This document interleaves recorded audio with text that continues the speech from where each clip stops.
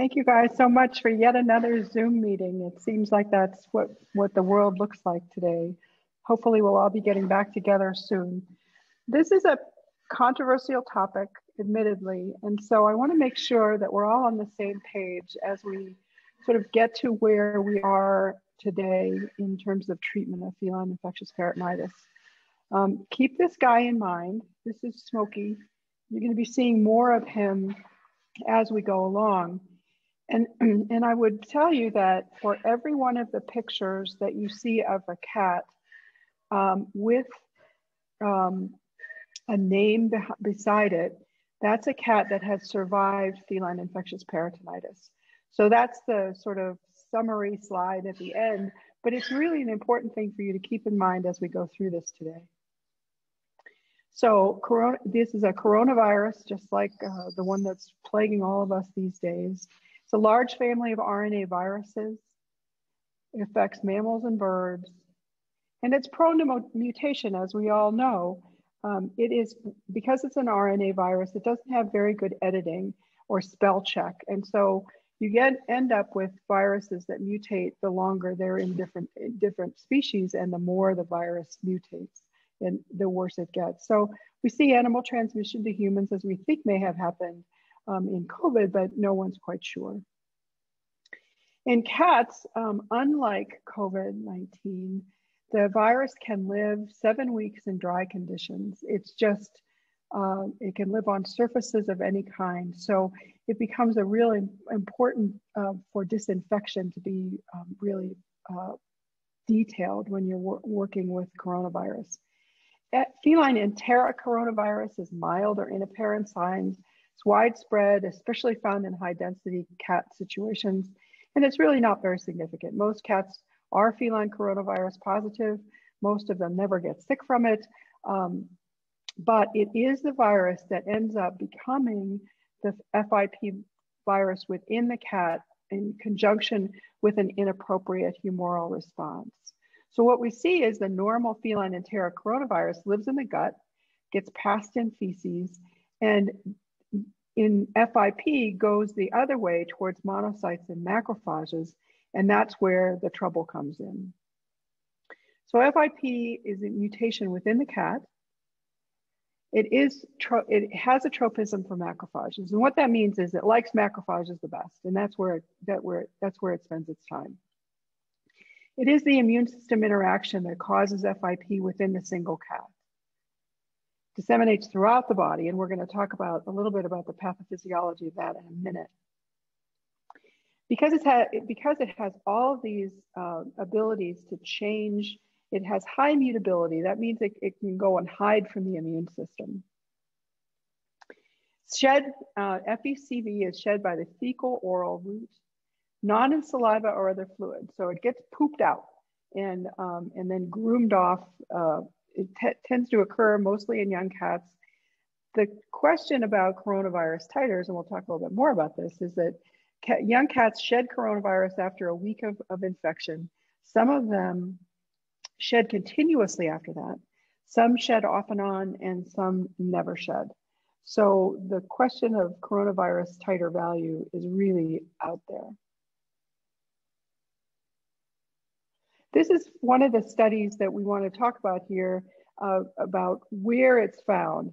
This was a study done in, in Turkey, Istanbul. This is 169 cats that were sick. The uh, coronavirus prevalence was 37%, so not really very high compared to what we see around here. There was no differences between males, females, or breed, and well, that'll come up again. Highest in multi-cat households with outdoor access. So any, um, any kind of stressor increases the, the volume of coronavirus in the environment.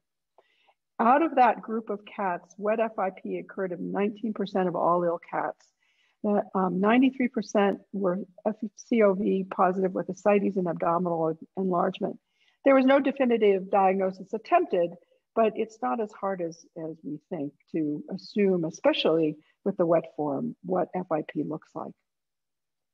This is another one, also done in Turkey, University of Ankara. 26 cats, um, one from a cat household, three from three other cat, cat households who were healthy, and the remaining were all village cats. 14 were positive, uh, or 54% were positive for coronavirus mRNA by RT-PCR. And that's going to come up again when we talk about diagnosis, so keep that test in mind. 13, though, were healthy and only one was sick. So the coronavirus PCR um, on blood is really not very effective. So there's no diagnostic assays that distinguish virulent and avirulent forms of feline coronavirus. So, so you really can't tell very much from coronavirus titer. So the two of them are in, uh, side by side. The enteric coronavirus is benign, highly infectious. So if you get one in the household, everybody's going to have it. It's shed in feces and stays in the colon. FIP, on the other hand, virulent, very infrequent spread, not shed in the feces, and it's cell associated, as we said. So, and, and we used to say that there were some breeds that were more susceptible. It turns out they're bloodlines that are seem to be more susceptible, but really not breeds, um, because we find the same breeds around the world, um, and the ones that we thought susceptible, more susceptible, are not, depending upon where they are and where they came from. So the host factors are the immune response to coronavirus, this exaggerated humoral response, and an inadequate cell-mediated immune response. So an ineffective antibody response is a failure to clear the viruses. And that just allows the disease to go on and on and on. And that's one of the things that we're going to be talking about as we talk about interrupting the virus in, a, in an individual cat. So there are two forms, as you know, um, the wet form which is has no cell-mediated immune response. The dry form has a weak one. And then if you have a strong cell-mediated immune response, your immune system is going to clear it. So this is really an interaction of a virus with the individual um, immune system of the cat. But all of it, whether it's dry or wet, all of it is vasculitis. It's just a difference in the way that it's spread. You get focal lesions in organs in the dry form, including ocular and neurologic. And then in the wet form, you get widespread vascular permeability, extensive granulomas, but it's all about inflammation. Everything in this is about the inflammatory response within the single cat. The signs you all probably recognize more commonly are weight loss, fever, inappetence. These cats tend to lose weight pretty quickly. They don't look so good.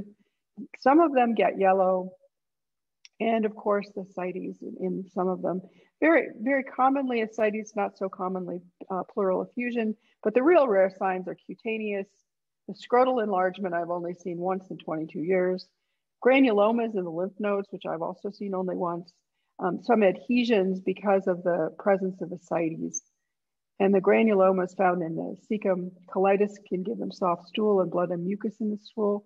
So those are the less common ones that we'll, see, and we, we, won't be focusing on those so much.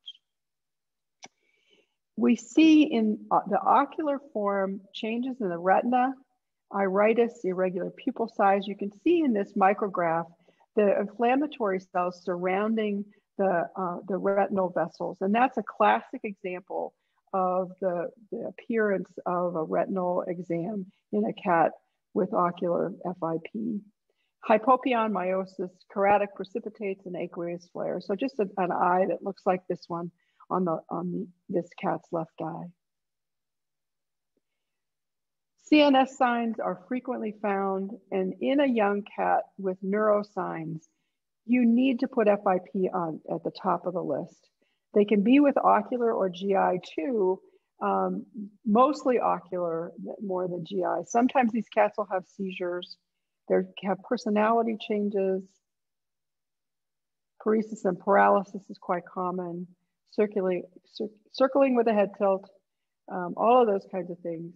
And then incontinence, of course. So this is a, a, a video of a cat with neurologic FIP.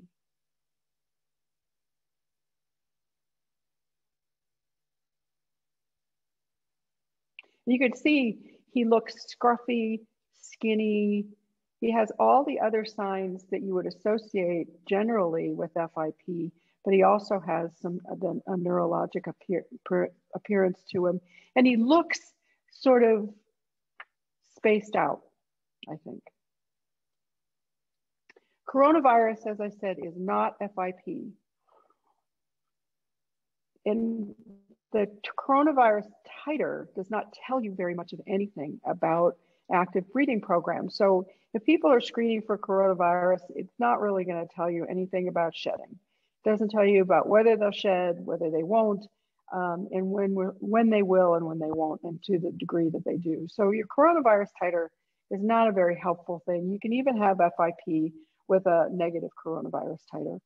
And this is Paige, a survivor. So what you need, what do you need to do to diagnose it? You need to build your diagnostic wall. It's not as hard as we have made it. Um, diagnosing FIP, of course, is fairly easy in in the uh, wet form, a little bit harder in the dry form, but really I think we make it a lot harder than, than we should. So it's gathering of evidence. Uh, young cats, particularly purebred cats, in multi-cat situations. So if you have a situation of crowding in young cats present, particularly in the presence of many cats of varying different ages, that stressor within the household will certainly be a part of the, the constellation that you're building as you put your diagnostic wall together. And then there'll be this sudden onset of lethargy and anorexia and really quick weight loss. These cats go from looking normal to looking really sick in a day. Waxing and waning fever. Um, I often will get these cats as a second opinion because they went to their veterinarian. Veterinarian said, oh, she's got a fever of unknown origin, put them on antibiotics, the fever goes away then the fever comes back. Well, the, the antibiotics didn't have anything to do with that. And it, it's just a matter of this, this fever just sort of comes and goes. So these are the typical signs you need to look for. And when you, um, when you look at Romy on the pictures on the right, you can see many of the signs of dry FIP. Diagnosis really isn't as hard as we make it. It's more difficult, as I said, with the non-effusive form. In young cats, half of the effusions at least RFIP. So it's got to be number one on your differential list in a young cat with ascites. The effusion fluid looks pretty characteristic. It's straw colored, viscous with a low cell content. Um, you can, can do um, immune fluorescent antibody and RT-PCR on the fluid. Um, if, if, you have access to, the, to a Rivalta test, which simply is a matter of a little bit of uh, household vinegar and water and there's a couple of pretty good YouTube videos on how to run it. So if you're if you're questioning your diagnosis, a Rivalta test will add to your diagnostic wall pretty inexpensively. They also have an anemia, pretty commonly neutrophilia and leukocytosis. So um, your CBC is going to also add to your diagnostic wall. This is the key though, an albumin globulin ratio of less than 0.6. And that's going to come into play later when we talk about monitoring these cats for recovery. Um, that is a really classic sign and one that you really need to pay attention to if you see this kind of ratio on blood work in a young cat. But it isn't as hard as we make it, and it's because we don't want to diagnose it. Up until recently, it has been fatal and heartbreaking to report to a client that their young, beloved kitten um, is going to die of FIP. And we also have to have to say that a, a PCR of blood is insensitive. There is um, a feline coronavirus 7B RNA PCR of the infusion, which is, but you have to be sure that you trust your lab. And so interrogate your lab if you want to run this test, because you will get um, a good result, a reliable result if you trust your lab. But also trust yourself. Um, we make it hard because we don't want to diagnose it. And so we have to be really cautious about doing too many tests and spending too much money, um, trying to be 100% confident. Um, there are better ways to spend money um, now that I'll show you. This is what a cat with ascites looks like. This is the classic appearance of the fluid. With, when you shake it up, it's got a nice proteinaceous bubbles on the top that looks is just classic for FIP. The gold standard, of course, is histopathology or has been up until recently. Um, the this is a cat that um, I posted that had uh, the wet form of FIP, and because I, I, wanted you to see what this looks like. It looks like a combination of both. Um, when you look carefully at the organs, you can see granulomas of the kidneys and all throughout the body entirely. So when you're um, when you're uh, looking at these cats, if you're thinking about exploratory laparotomy, I don't think that's necessary anymore. It used to be the way we were forced to think about diagno diagnostics, but it's it just doesn't seem to be true. This is a close-up of, I took the capsule off the kidney to show you how dr the drama associated with the granulomas in a cat with, um, with FIP. So wouldn't it be nice if there was an FIP vaccine? Well, there might be um, sooner now than later, but the, the problem was that um, the, a report of the, uh, on the vaccine of a um, modified live virus derived from virulent FIP was an intranasal vaccine that was put out a number of years ago. The mean efficacy in specific pathogen-free cats was 69%. That's pretty good.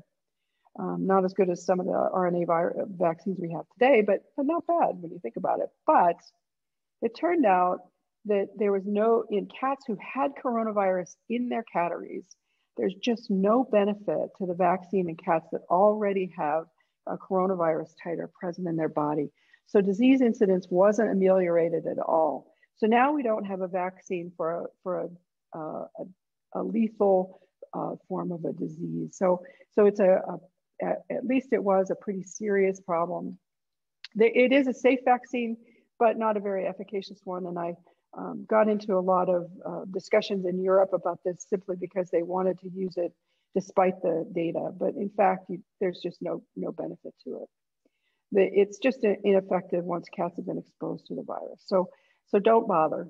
Um, but it just also means that there was really good reason to look for a way to cure it. Um, and beginning in 2003, um, the, the work began in humans with the outbreak of MERS, SARS, and the Ebola virus. And that was looking for an inhibition via nucleoside analog.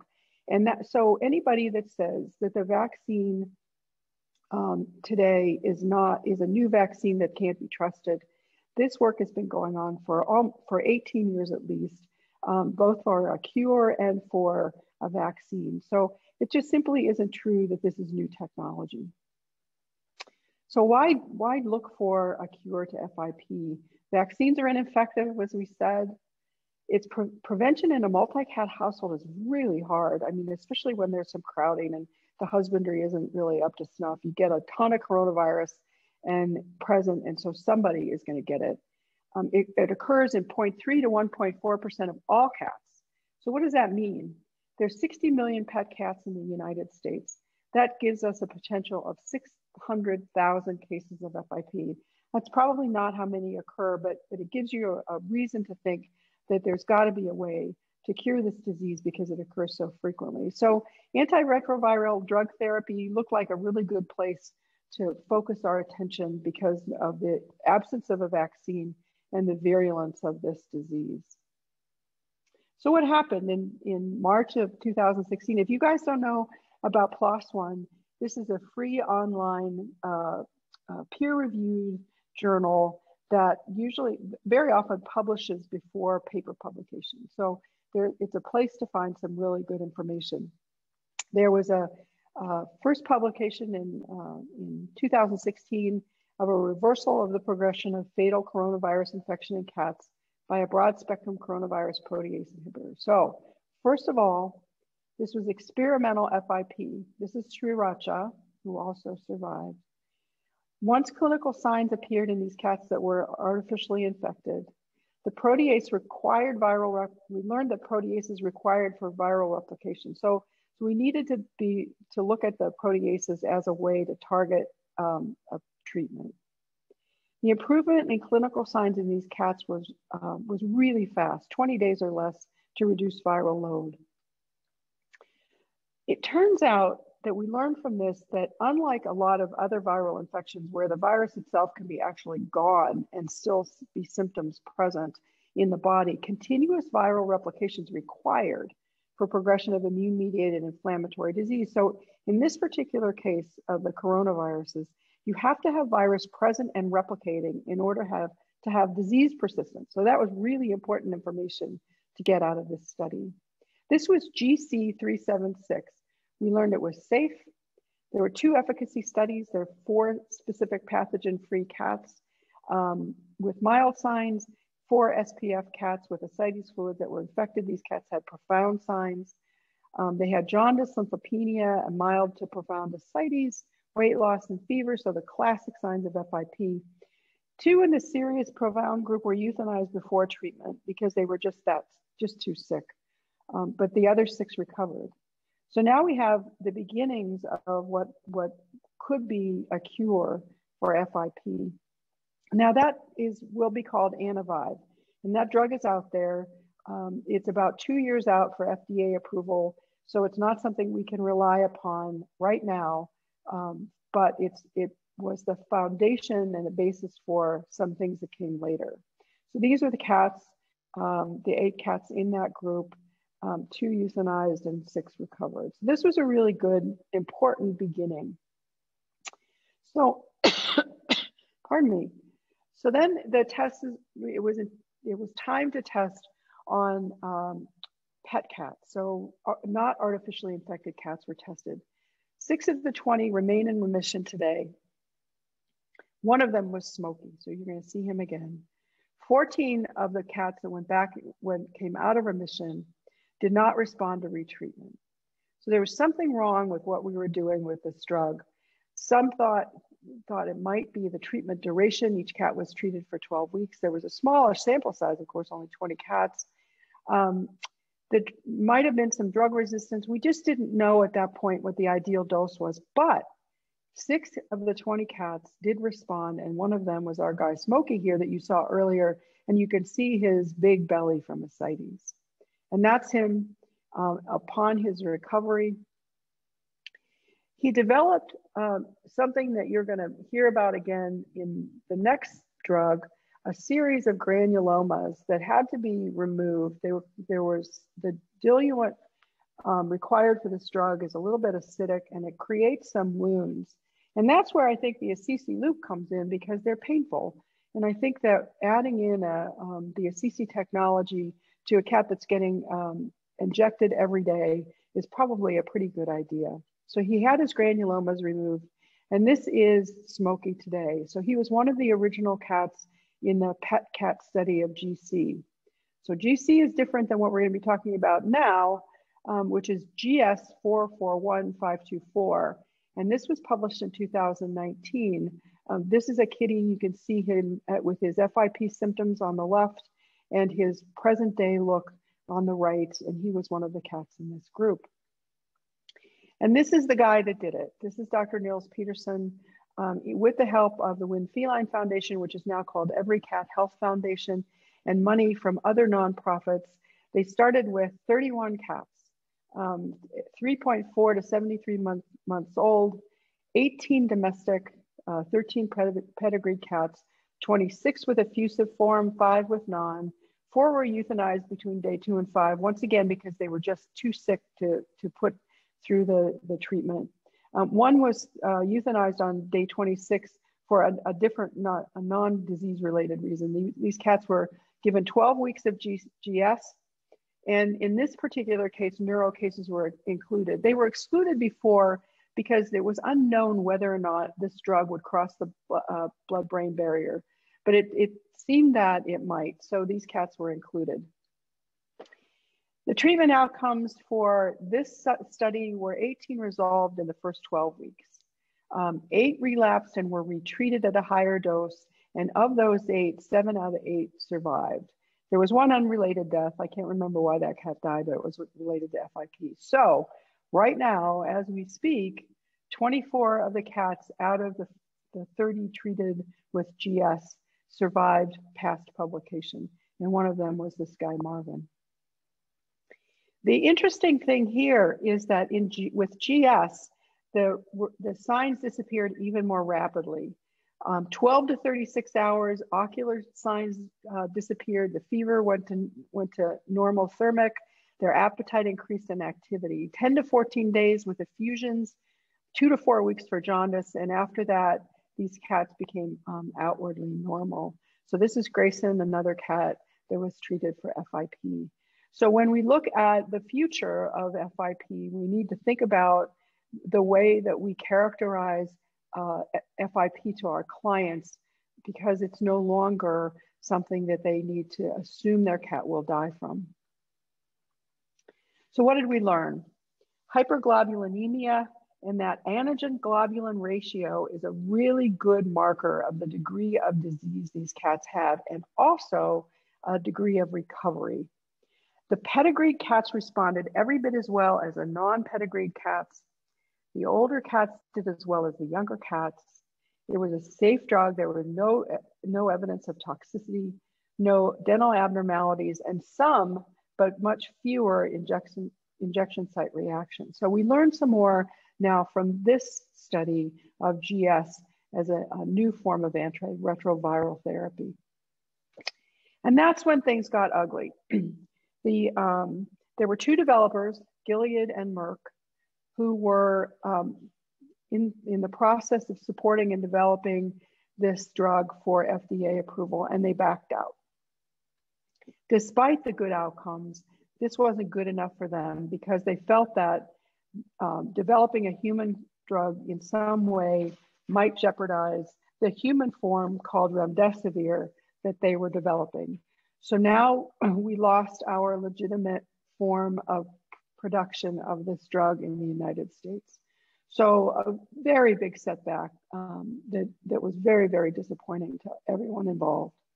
and what, we, what, what that led to is a truly unruly black market. But something, something came in to fill the market. So multiple companies, mostly out of China, reverse engineered it and developed um, GS and began to sell it. There are competing websites. This one um, that you see on your screen is one of the companies that makes GS and is not the legitimate FIP Warriors 5.0 that I'm going to be sending you to. On Facebook, there are a lot of fakes, company sites, as I said. There are trusted ones, and I'm going to tell you where to find them.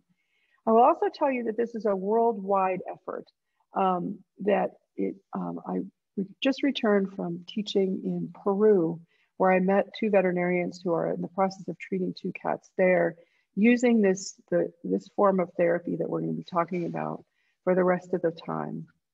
And I, I sort of raced through the pathophysiology because you all know it, but because I wanted to get to what you can do about it. I also want to make sure that we really do work at building a diagnostic wall and not insist on the thousands and thousands of dollars of tests when there are other ways to accomplish the same thing. So FIP Warriors is where to go. Facebook took down the first four. Um, that's why it's now FIP Warriors uh, 5.0. FIP, uh, or Facebook rather, has some very specific rules about what you can and cannot do on their site. And so um, we apparently, the, in the early days, violated those rules and we were taken down. We do not violate them anymore. Um, this is a carefully coordinated effort on the part of about 6,000 members um, to provide the, uh, uh, the source for uh, this unregulated drug in a form that can be useful for veterinarians and their patients. Pardon me. I, as I said, it's the Wild West. These are a couple of websites that are illegitimate websites. They call themselves FIP Warriors 5.0. They are websites created by one of the Chinese manufacturers of, of GS and should be avoided. You won't get the help you need from them in the first place. And then the second, um, there are some ways in which you can get the most appropriate and best tested drug um, directly from FI, the legitimate FIP Warriors 5.0. This is another way you can get to the really good information about FIP. Um, this was one of, this was Smokey's dad. He's also a friend of mine and has dedicated a nonprofit to the cure of FIP. Um, and his website, the House of Neko, or zenbycat.com, which is the name of the website, if you forget how to get to FIP Warriors uh, 5.0, or you just want to make sure that you're on the um, latest uh, and best source for legitimate help with FIP, go to zenbycat.com. He always keeps his website up to date with what the latest news is in terms of support for FIP treatment. He's also a really nice guy. So the problem is that it's not an FDA approved drug. It's not even a, a, approved for anything. It's obviously we use non FDA approved drugs for a lot of things um, and don't get much trouble about it. Um, in this case, you can. And so, what I want you to understand and understand in detail is what you can and what you cannot do when when treating this this um, disease. I still get second opinion cases from a lot of veterinarians who say your cat has FIP and needs to be euthanized. And I want you, my message is clear. It is no longer a disease for which euthanasia is the only potential outcome. You do have to be careful. So here's what you can do. You can direct clients to trusted resources like FIP Warriors 5.0. You can show them what the website looks like. You can send them to Facebook, uh, FIP Warriors 5.0, or the website, either one, um, and tell them how to get there. You can provide supportive care.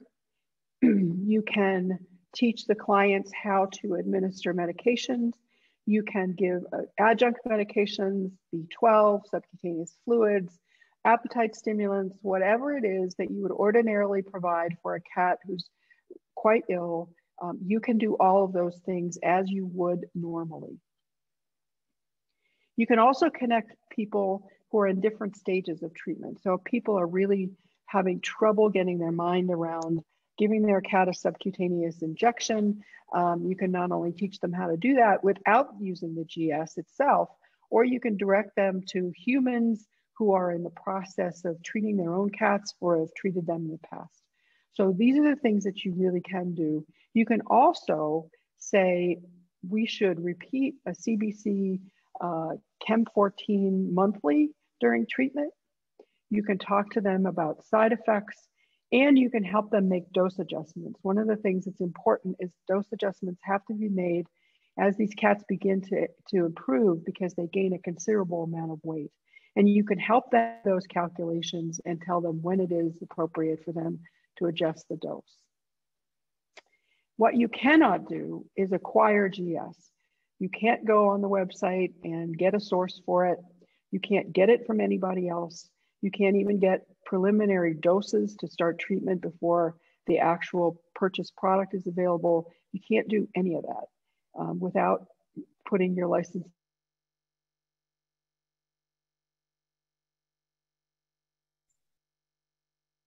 Elizabeth, I think we lost sound on you.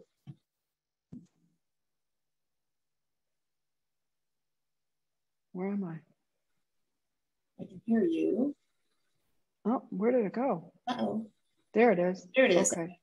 This is a really important part, so I don't want to miss it. So, so that so what you cannot do is buy any of this stuff. Um, what you can do is what you cannot do is administer it either. So if you're teaching how to give subcutaneous uh, injections, you cannot use the drug to administer it. Neither one or nor nor can you, as of course veterinarians cannot, and are they not mind readers, you cannot guarantee outcomes. Here is a recent um, study of 164 cats with FIP, just to give you an idea of how we're looking at these cats who are undergoing therapy. This was um, cats that were began, they began treatment in um, October of 2019. Of those cats, three relapsed, eight had death from other causes, 11 died of FIP, 70 were cured. And one of the things that we do in this is there's a 12 week post treatment period in which these cats are observed and not considered cured. So until they go through a 12 week post treatment period, they are considered in treatment and not cured. And so, um, so these are cats that are that um, that we are still worried about potential for relapse, and so they we don't put them in the cure list until they've actually uh, gone through the 12 week post treatment period. There are two forms of GS. There's an oral form that's more recently been made available. It, it provides an increased concentration of the drug. There are three companies, um, there are more um, probably by now, but Mutian, Aura, and Lucky are the three manufacturers. When you get this drug, GS is not on the ingredients list. It comes up as something like a food supplement or a vitamin or uh, an appetite uh, adjunct therapy or something like that. Um, it, you will not find GS on the label. The dose is based upon the form, but it generally is 20 to 40% higher in price than, muti, uh, than, than the subcutaneous form. And Mutian is about four times more expensive than subcutaneous. So, so um, when you're thinking about how which form to select, you also have to consider which is going to be the easiest on the client. The subcutaneous injection is cheaper and dosing is more accurate. Um, we will talk about dosing in a minute, but um, with the subcutaneous form, you can adjust doses more precisely. It also is better absorbed. Um, however, we did talk a little bit earlier about injection site pain, and those can, there's a, a potential for sores to develop. They are treated topically, but they can be a little painful. And once again, that's where your uh, sort of uh, compassionate form of pain management comes in the form of, for example, an Assisi loop, um, which I've used uh, quite commonly. This is Oscar. He also survived. So, um, and these are the doses. This is where you the gener where you generally start. Um, wet or dry, four to six milligrams per kilogram per day, but not in the ocular or neuro variety. It takes more drug to cross the ocular blood barrier and the neuro and the uh, blood brain barrier requires an even higher dose. so with the ocular form, eight, you started at eight milligrams per kilogram neuro is 10. Um, if you're going greater than 10 mgs per kilogram, which in some cases you will, you really can't use the oral form. The absorption goes down. The other thing we want to talk about is those injection site sores. We want to make sure that people are, are instructed to put the injection, we always tend to inject at a fairly regular site and when we give subcutaneous injections, you want to vary it all over the, the body where there's loose skin so that you can keep that discomfort under control um, and make sure that you instruct the clients that way. So these are the starting doses. Um, according to Dr. Pedersen, his number is about 85% cure rate so far. So of, of all the cats treated, and I'm going to show you a recent, a recent uh, study in a minute. The things that you need to help clients make sure they're keeping an eye on is weekly monitoring physical um, activity and weight, appetite, and of course, the whatever presenting clinical signs these cats have. Um, and then every four weeks, we like to see a CBC chemistry with an uh, albumin globulin ratio included. And that is a really helpful way to monitor progress and make sure that you're on the right dose um, and this cat's actually improving. Make sure that they know how to topically treat these in injection site lesions. Um, it's not, they don't need to be shaved. They just need to be treated with a topical form like hydrogen peroxide and maybe a little um, antibiotic ointment, that kind of thing. As I said before, um, weight gain will occur as these cats improve and they need to have their dose um, modified for weight gain. And lastly, there, there is some drug resistance that happens. And so you may have to go to much higher doses to um, explore whether or not the resistance is, is complete or incomplete. You may get, with resistance, you may get uh, improvement on a much higher dose, but you have to know that. So this is the unlicensed crowdsourced at-home survey that was done on GS patients. Um, this is Lily Blue, a, another survivor. There were 393 surveys filled out on this Facebook site. Um, and they explored the uh, mean cost in US dollars was about $4,900. Um, I just got back from Peru, which is 20,000 sol, which sounds really hor horrendous, but it's still quite expensive. Um, it used to cost about four times that much. So the cost is coming down, but it's still pretty considerable. And another good reason to use your diagnostic wall and not do thousands of dollars worth, of unnecessary diagnostics so that you can, because maybe you can get these cats begin treatment while they still have some money left. Out of three, 393, now remember, this was just voluntary um, crowdsourced survey. 380 of these, the 390 were alive at the time of, they were 88% uh, improved in one week. Now, here's where it's interesting. You can get uh, pretty quickly, like an overnight mail, you can get some doses um, from uh, FIP Warriors 5.0 and if you're still thinking that this might not be FIP, you can start treatment and and see if the cat improves in a, in a it's begin to, to improve diagnostic signs in a couple of a couple of days because that will confirm the diagnosis. So if the clients are running out of money um, or they don't have the money to start with to do exhaustive diagnostics, this is one way that people have skirted that issue to come to a conclusion, particularly about the dry form of FIP. So 96.7 were alive at the time of the, this was done. 54% of those cats were basically cured. So they had gone through the 12 week uh, treatment period or longer, depending on whether they'd relapsed or not. And 43% um, of them were still in the 12 week observation period. And that is a remarkable number. And though it certainly was voluntary, so a lot of people didn't want to probably tell their sad story, some somewhere around 85% uh, cure rate is, is according to Dr. Pedersen, what you can pretty much count on. And Dr. Pedersen is has the pulse of all of this. He's spent the last 30 years working on nothing else um, but a cure for FIP because it's such a deadly problem for so long. Now, the other thing that, that people are doing is starting at a higher dose than I showed you, four to six mg per kg. They start at 6.5 to 8.5 mg per kg. Um, so the question is whether this new form of GS coming out of uh, some companies in China might be a little less pure, um, might not be quite as, uh, as efficacious as the one used in the clinical trials. Um, it, it's uncertain, but the veterinarians who are on FIP Warriors 5.0 help out with um, getting started on the appropriate dose depending upon the cat's si signs. So here's the things you don't need to do. This is Cat Stevens, he recovered. You don't need to get rid of the abdominal effusion by any mechanical way. In fact, it's I would recommend that you don't. Um, unless the cat's having difficulty breathing because of, of the compression of the diaphragm, don't remove the effusion, it'll go away. If, as some do, these cats are on corticosteroids for because that sometimes helps ameliorate some of the signs and makes the cat more comfortable, stop it. Um, just stop. Don't treat, don't taper, don't do anything else, just stop. And there's no other need for any other supplements or vitamins or anything else.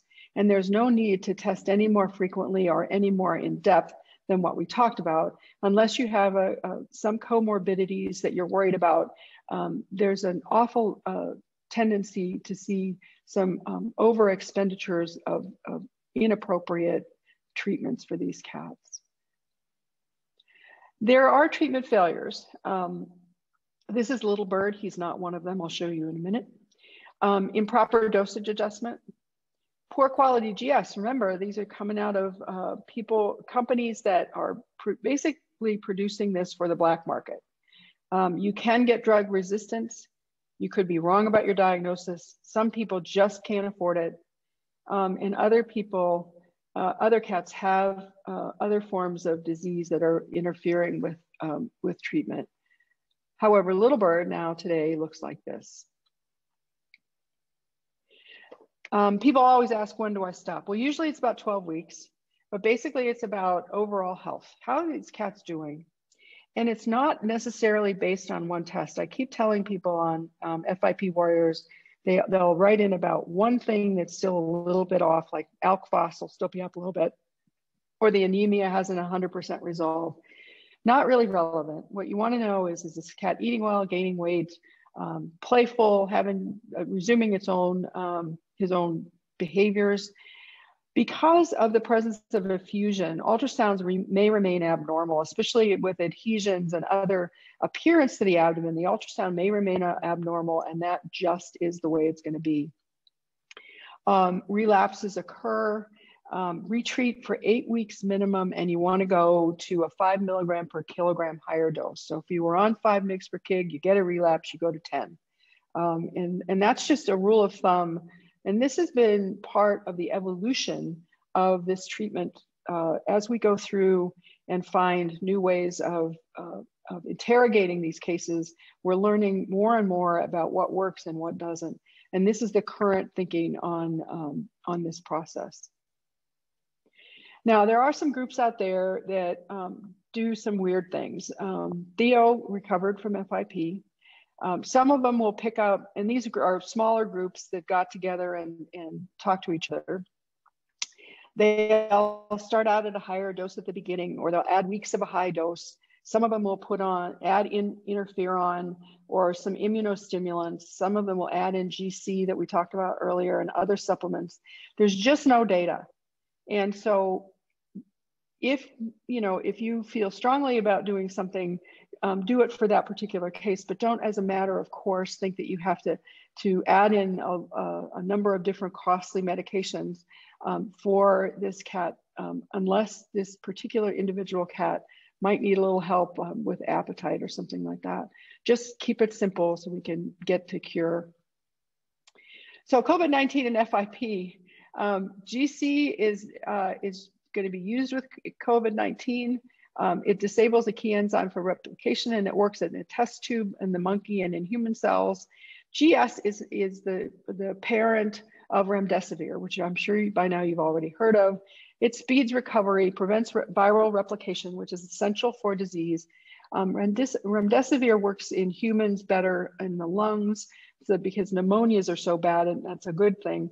Um, right now, it's in clinical trials, so it's GS is, is remdesivir, um, a, form of that, and, it, and it's given IV, so it's a little more complicated. It would be a little more complicated to use remdesivir in, um, in cats, but it's being done.